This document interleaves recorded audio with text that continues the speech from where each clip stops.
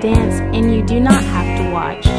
Stick to your perverted gacha cartoons and I will stick to my dancing. Don't like, don't watch. Save your breath and comments to for something a little more.